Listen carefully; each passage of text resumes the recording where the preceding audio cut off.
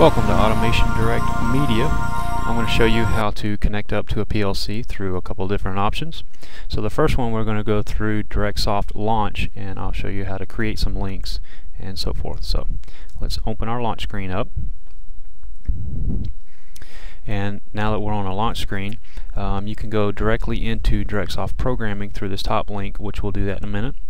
First we're going to go down to our COM links and show you how to connect up. So a couple of different things. Uh, if you notice that we do have three links listed here. The first two are in yellow, which means that they are disabled. So uh, DS Launch could not find those PLCs when it opened up.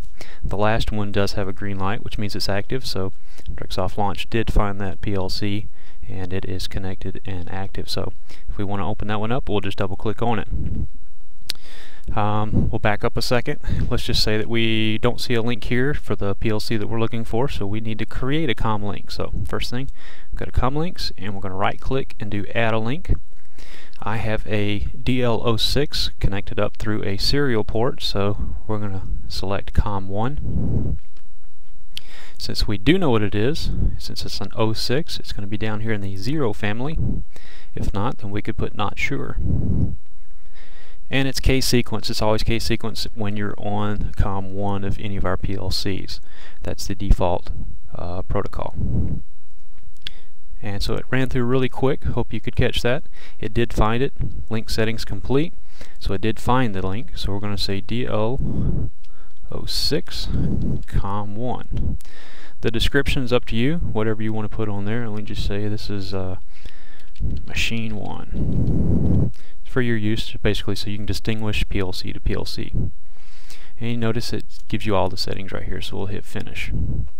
Now you notice it is listed under our com link so we have a com link there. We can double click on it and we can start a PLC project. We're going to close that out. We're going to back up a few seconds and what we're going to do is say okay I have all these links and maybe a couple of them I'm not using so I want to delete these. Either just select it and hit delete on your keyboard or you can right click and hit delete. Yes, we want to delete that one. What if we want to edit it? We want to change our connection to it. We don't want to change the name, so forth. Edit link. Say, okay, it's still 250, it's 250-1. I want to change the description of where the machine is or whatnot. I can do that. I can change ports, and also protocols. Okay, now what if you're in DirectSoft programming? Well, I've got ladder logic up right now and let's go through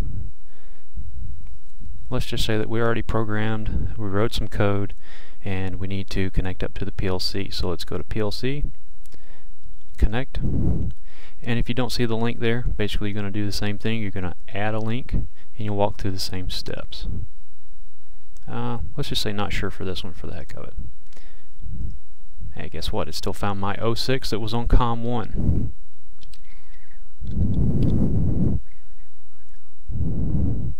We're going to select that one. And it notices that there's a difference between the program that's actually in the PLC and a program that we have in front of us, which literally nothing. Uh, which one do you want to use? Well, let's see what's in the PLC. We'll use that one. So it brings up, shows us all the ladder, which is on one rung. And now we're connected to the PLC. Oh, I take that back. There is a couple of rungs here.